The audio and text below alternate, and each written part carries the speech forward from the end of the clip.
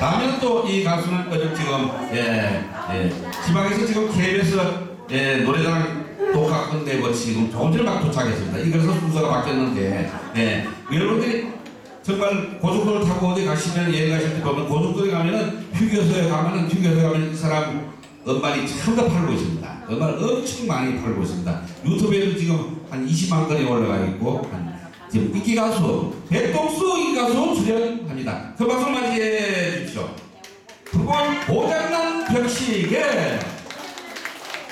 고